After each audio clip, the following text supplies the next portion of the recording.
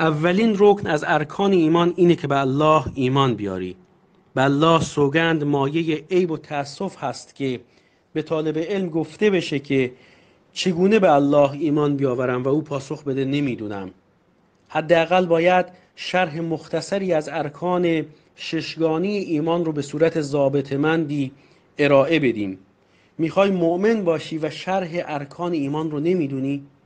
چگونه ایمان را محقق سازم یا ایمان چگونه محقق می شود این که به الله ایمان بیاوری ایمان به توحید ربوبیت ایمان به توحید الوهیت و ایمان به توحید اسما و صفات در ضمن ایمان به وجود الله متعال. زیرا کسانی هستند که اساسا وجود الله رو انکار می‌کنند. سبحان الله دلایل وجود الله متعال چیست؟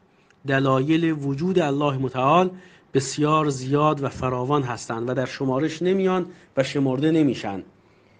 می‌تونیم دلایل وجود الله رو اجمالا در دلایل چارگانی جمعبندی کنیم.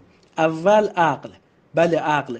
امکان نداره که عاقلی در این آفرینش بدی و نوع الهی بیاندیشه مگر اینکه به وجود خالق و آفریدگار یگانه و تدبیرگری برای این مخلوقات اذعان کنه.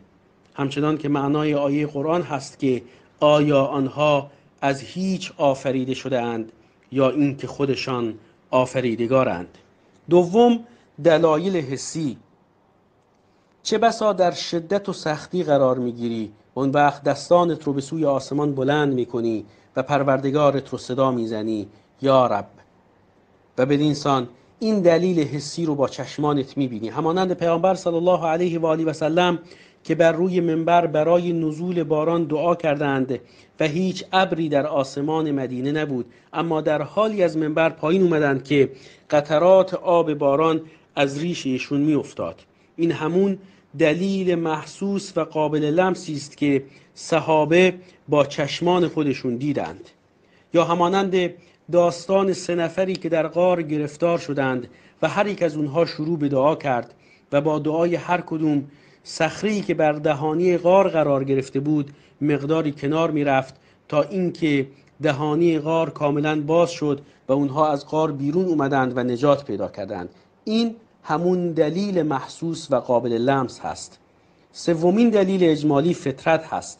هر نوزادی بر فطرت اسلام متولد میشه. اما این پدر و مادر او هستند که او رو یهودی یا نصرانی یا مجوسی بار میارند اون هم با آموزش زبان غیر عربی به او و یا با بیتوجهی به آموزش زبان اسلام به او.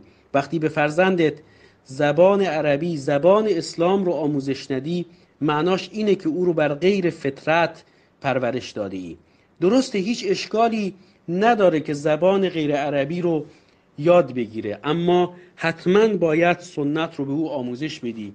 سوره فاتحه رو یادش بدی.